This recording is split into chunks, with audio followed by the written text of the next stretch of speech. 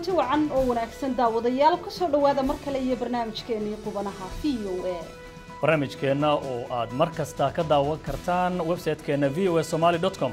Waxaa qodobadan toddobaadkan idinku hayno ka mid a. In wasaaradda maaliyadda hay'adaheeda kala duwan tegi doonaan qiimeynna ku samayn doonaan. Sidoo kale intaas keliya ma ahee qorshe wuxuu yahay booliiskii in ka howlgalaan magaalada kismaayo dowladda soomaaliya oo ka hadashay qaabka ay u waajihi doonto maamulidda dekedda iyo garoonka magaalada kismaayo kadib markii madaxda amisom isku raaceen in dowladda soomaaliya lagu wareejiyo maamulka magaalada kismaayo. Anigu waxaan qiyaasayaa waxaa waaye hadda cabashadan soo badbadanayso inay tahay cabasho siyaasad ku lugla wasiirkii hore ee dastuurka cabdiraxmaan xooj jibriil oo ka hadlaya muranka u dhexeeya puntland iyo dowladda federaalka oo ay puntland ku eedaynayso inay dastuurka wax ka beddeshay maraykanka oo dadkiisa ka daadgureeyey dalka yeman kadib markii ay soo baxeen in alqaacidada yeman ay qorshaynayso weeraro ka dhana safaaradaha maraykanka ee dunida islaamka. qodobada iyo kuwo kale ayaad ku maqli doontaan barnaamijkeenna qubanaha v o a ee toddobaadkan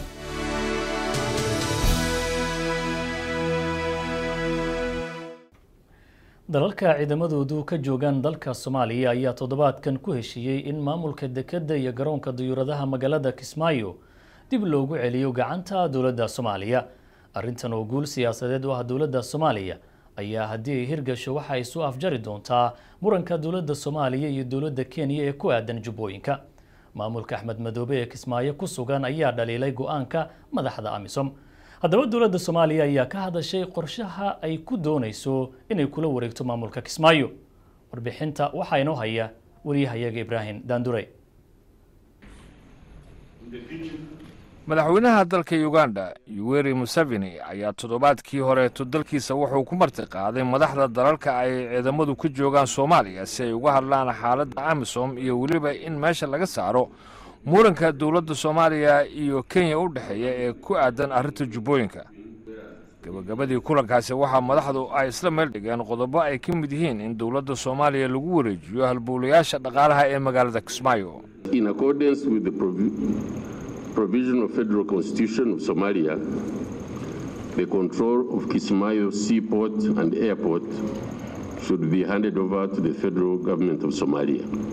Sam kutisa wasiirka arrimaha dibadda ee uganda ayaa gabagabadii kulanka waxa uu akhriyey warmurtiyeed kulankaasi laga soo saaray kaasi oo lagu sheegay in maamulka dekedda iyo garoonka dowladaha ee kismaayo sida uu qabo dastuurka federaalk ee soomaaliya gacanta loo geliyo dowladda soomaaliya. Sidoo kalena la ilaaliyo qaraarkii golaha ammaanka ee qaramada midoobay ee mamnuucayey in dhuxusha la dhuufiyo go'aanka madaxda amisom ayaa waxa uu ahaa guul siyaasadeed oo si weyn ay u doonaysa dowladda soomaaliya oo muran dhinaca maamulka uu kala dhexeeyo. Maamulka axmed madoobe uu hogaamiyo ee xulafada ay yihiin ciidamada kenya.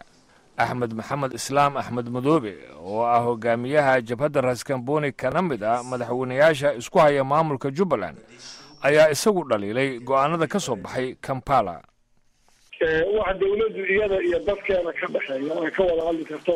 Soomaalinimo looga hadli karayo in la yidhaahdo dawlado ciidan lagu joogaan baa go'aaminaya constitutional maaha oo dastuur ka qorayo.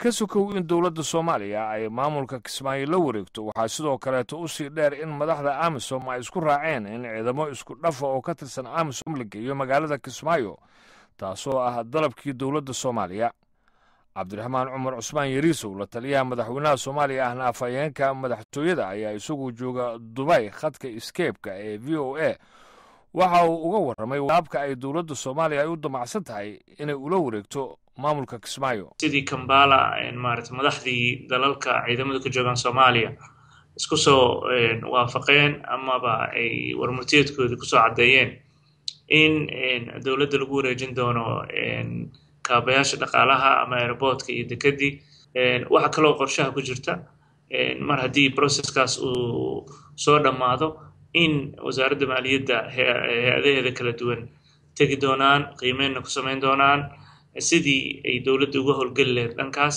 Sidoo kale intaas keliya ma ahee qorshe wuxuu yahay booliiskii in ka howlgalaan magaalada kismaayo. Ciidamadii dowladda sidoo kale ka howlgalaan. Ciidamada aan dowladda ka tirsaneenna sidii maaragtay la isugu dhafi lahaa u noqon lahayn ciidamo qaraman qaran oo qaramaysan ayuu ujeedadu yahay. Si kastaba ha noqotee dowladda soomaaliya ayaa quudaraynaysaa in si dhaqsi ay u soo afjarto muranka jubbooyinka oo dad badani ay aaminsan yihiin inay ku riiqintay sidoo kalena wakhti badani uga lumay. Ibraahim xasan daandurey v o a maamulka puntland ayaa dhowaanta sheegay inay xidhiidhkii wada shaqeyneed u jareen dowladda federaalka ah ee soomaaliya kadib markii ay ku eedeeyeen in wax laga bedelay dastuurka soomaaliya. Haddaba maxaa ka jira eedahaasi? Wariyaha v o weda ee magaalada nairobi maryan maxamuud bare qalanjo ayaa arrimahaasi ka wareysatay cabdiraxmaan xoosh jibriil oo ka tirsan baarlamaanka soomaaliya islamarkaana ahaa wasiirkii hore ee dastuurka dowladdii kumeel gaadhka ahayd ee soomaaliya oo isagu arrimahaasi aada iyo aada ugu dhuundaloola qodobo dastuurka cusub laga bedelay waa jiraan. Waktigii la bedelana waxay sebtembar toddobadii labadi kun iyo labayo tobanka baarlamaanka gudihiisaa lagu dhex bedelay waana loo codeeyay waa kuwii qodobada la bedelay qodobka ugu weyn waxa waaye midka ah aqalka sare.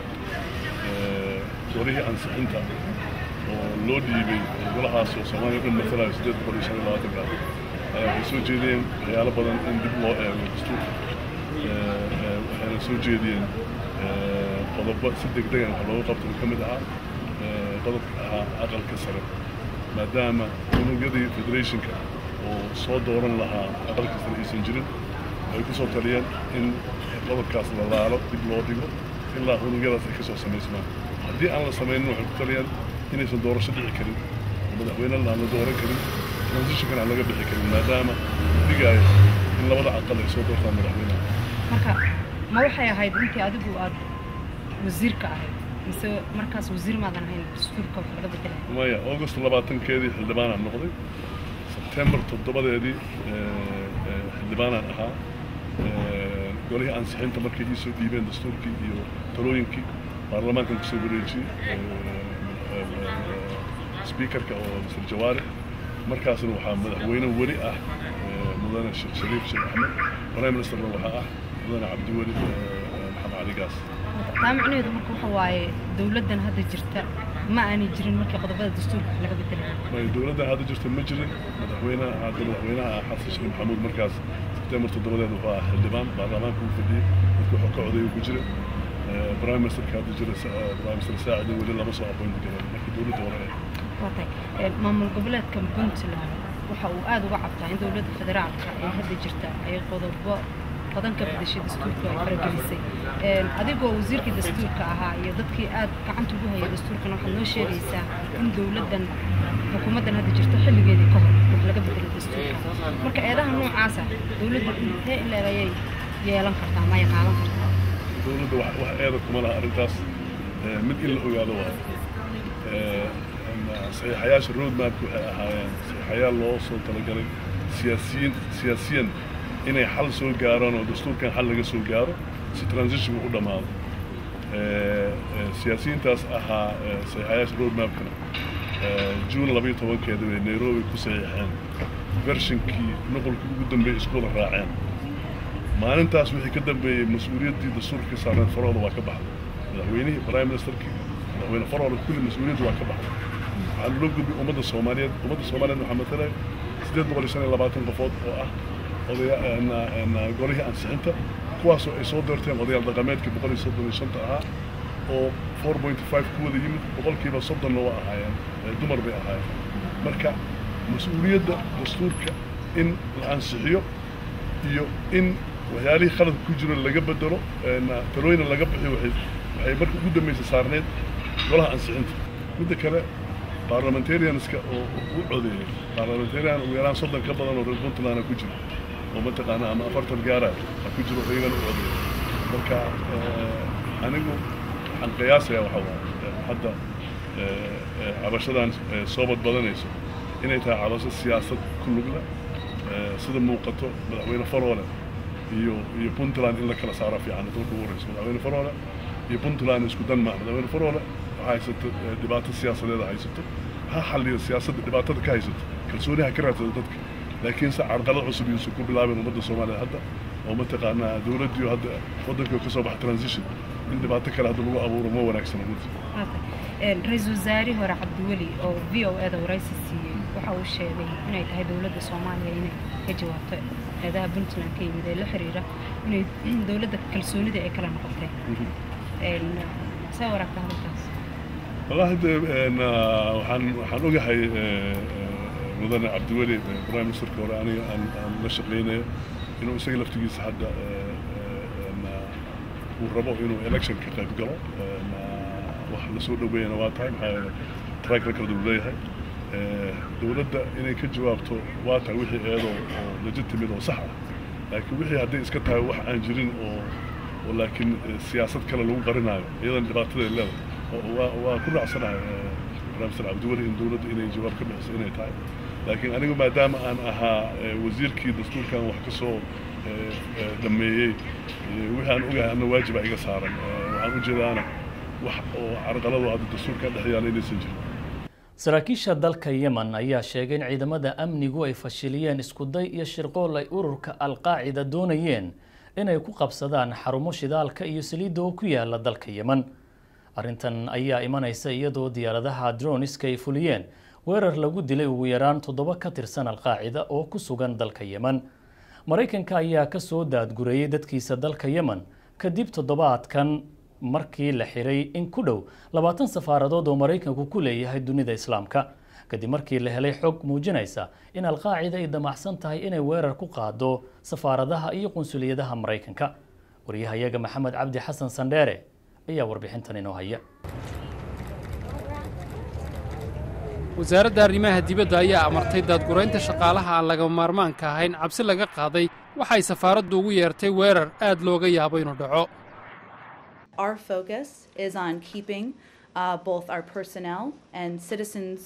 Waxaan culayska saaraynaa in shaqaalaheenna iyo muwaadiniinteenna u socdaalaya dalka dibaddiisa ay nabad ahaadaan maalin maalin baanu go'aan u gaarnaa. Wararka aan helnaana maalin maalin ayaan u qiimaynaa taasina waa sababta aan ogeysiiskan u samaynay. Sababtuna waxa weeye annagoo ka jawaabayna khatar muuqata.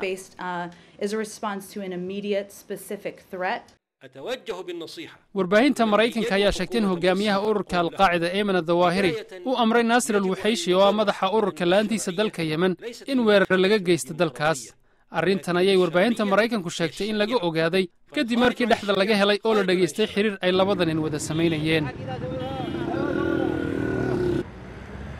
Saraakiisha maraykanku awood uma helin inay si saxa u ogaadaan goorta iyo goobta weerarka.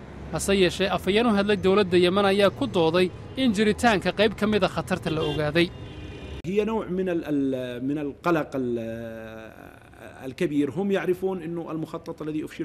waxaa jiray howlgal weyn oo la ogaaday kaasi oo u muuqday inuu bartilmaameedsanayay xarun shidaal oo ku taalla gobolka shabwa iyo meelo kale oo dowladdu gacanta ku hayso si loo xayiro howlaha dowladda howlgalladan waxaa sidoo kale loo qorsheeyey in xoog lagula wareego laba dekadood oo muhiima oo ku yaalla magaalada mukalla halkaas oo khubaro badan oo ajnabihii ay ka shaqeeyaan wasaaradda arrimaha dibadda ee maraykanka ayaa iyaduna soo saartay digniino dhinaca socdaalka ah kuwaasi oo ku aadan dalka yemen iyada oo dadka aan weli yemen ka dhex bixin loogu sheegay inay dhaqdhaqaaqooda yareeyaan. Duqayntii xagga cirka ahayd ee arbacadii ka dhacday gobolka shabwa ayaa ahayd tii shanaad ee yemen ka dhacda muddo toddobaad ka yar. Degenaanshala'aanta waxaa ka dhasha argagixisada. Sidaasi waxaa qaba james jeffrey oo horay danjiro u ahaa. Haatanna ka tirsan macadka washington ee siyaasadda bariga dhow. Waxay ka howlgalaan meelo aanad xakamo fiican ku haynin xuduudaha waxay ka howlgalaan meelo aadan haysanin xoogagga amniga casriga ee ugu wanaagsan kuwaas oo la shaqeeya hay'adda booliiska caalamiga ee interpol iyo hay'adaha sirdoonka caalamiga ah. Gobol ay weeraradu ku soo noqnoqdaan sida eedaanka salaadaha ayaa master jeffrey uu sheegay in kooxaha argagixisada ahi ay meel sare higsanayaan brobagandada keliya ee bariga dhexe ka shaqaysaa waa markii ay qabsadaan safaarad waa markii aad dejisid markab amaba aad muujisid in maraykanku yahay daciif aad u nugul james carafano oo ka tirsan hay'adda heritage foundation oo fadhigeedu yahay magaalada washington ayaa sheegay in kooxaha xagjirka ay ku tiirsan yihiin saadaasha. waxa ay doonayaan inay ogaadaan inta ilaaliye. waxay doonayaan inay ogaadaan xilliyada ay ilaaliyaashu isbeddelaan. waxay doonayaan inay ogaadaan socodka dadka. Marka markii aad war shaaciso oo tidhaahdo meel baan xidhaya amaba amnigan adkaynaya xaaladdii baad wax ka beddeshay saraakiisha ku sugan wasaaradda arrimaha dibadda ee maraykanka ayaa sheegay in yemani ay sii wadayso inay si soke ula shaqayso maraykanka si loola dagaalamo ururada sida alqaacidada jasiiradda carabta. Haweenka ku dhaqan dalka afghanistan ayaa shaki weyn ka qaba waxaa ku dhici doona marka ay sanadka soo socday labada kun iyo afar iyo tobanka ka soo baxaan ciidamada nato dalkaasi. Iyadoo ay beesha caalamkuna sheegtay in la ilaaliyo xuquuqda haweenka ee la dhowray tan iyo markii xukunka laga tuuray taalibaan sannadkii labadii kun iyo kowdii. Inkastoo ay jiraan haween badan oo iyagu aaminsan in xuquuqdoodu hooseyso wariyaha v o weda sharon pen ayaa warbixintan arintaasi ka soo dirtay magaalada kaabul kooxdan dumarkahi waxay ka mid yihiin xubnaha qaar ka mida golayaasha deegaanka oo ka caraysan qorshaha xukuumadda waxaana ka mida okmina oo ah haweenay u labisata sida ragga tan iyo wakhtigii dagaalkii ruushka iyo afghanistan.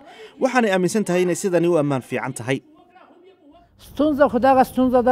Waxaa mushkilad ah inaysan jirin cid danaynaysa xaqdhowrka dumarka. Haddii ay ciidamo tahay iyo haddii ay xildhibaano tahayba si xun ayaa loola dhaqmaa haweenka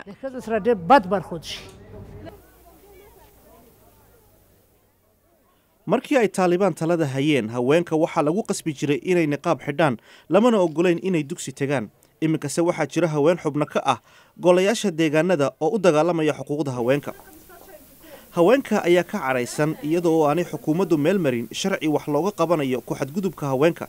Sharcigani oo yaraynaya guurka qasabka ah iyo waxyaabaha la midka ah ururka human rights watch ayaa tilmaamaya inay jiraan astaamo muujinaya mustaqbal xumo soo wajihi karta haweenka afghanistan.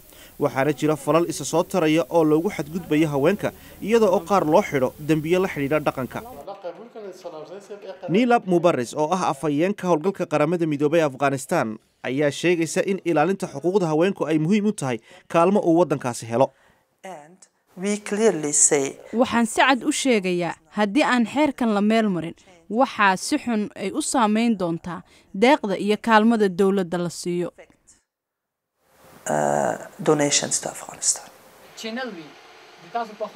Ku dhowaad boqolkiiba sagaashan haweenka afghanistan waxba ma akhrin karaan waxaana u daran dhulka baadiyaha ah. Brofeor wadiir saafi oo sharciga dhiga ayaa sheegaya in weli ay jiraan dhaqamo dabraya horumarka haweenka waxaan aqaanaa gabdho ka qalinjibiyey kuliyadda sharciga ee jaamacaddeenna kuwaasoo deeqa waxbarashaa ka helay indiya iyo turkiga si ay waxbarashada sare u sii wataan. Laakiin nasiib darro waxay noo sheegeen iyaga oo oynaya in waalidkood u diiday inay dhoofaan. Mararka qaarkoodna waxaaba u diidi karaa walaalkeed. Waa arrin ka dhacda magaalooyinka waaweyn.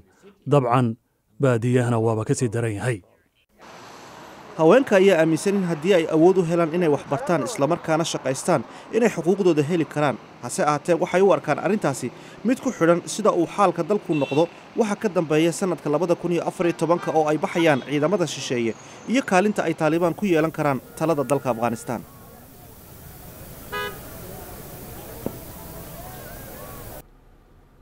waa hagaag daawadayaal. Intaasi ayaanu ku soo gabagabeyneynaa barnaamijkeenii qubanaha v o a ee toddobaadkan. Waxaan filayaa daawadayaal. Meel kastoo aad joogtaan dunida dacaladeeda oo barnaamijkan qubanaha v o aad ka daawanaysaan inaad adinkoo ciiday oo weliba xalweystay buskut soo cunay islamarkaasina dhoolla cadaynaya ay daawanayaan. Marka waxaanu leenahay meel kastoo aad naga daawanaysaan ciid wanaagsan. Sahar haddee waa ciid. Dabcan waxaan filayaa maanta si wanaagsan baad u soo ciiday ciid wanaagsan maxamuud inaynu inagu malaha iska bilaanaabay haydeen aada iyo aad balse waxaan leenahay dhammaanba akhyaarteeda nagala socota barnaamijka qubanaha v o a. Ciid wanaagsan bisha barakaysan ee ramadaan ay noo soo dhammaatayna ilaahay camalkeeda khayrka lahaa haynaga aqbalo. Aamiin ayaanaan raacinayaa zahraay daawadayaal wixii talo iyo tusaale ah fikirkeenna mar walba waanu soo dhaweynaynaa waxaad inoogu soo hagaajin kartaan ciwaankeenna oo ah somali at v o a news dot com. Zahra. Tan iyo kulanti dambe waxaanu idinkaga tegaynaa sidaa iyo nabadgelyo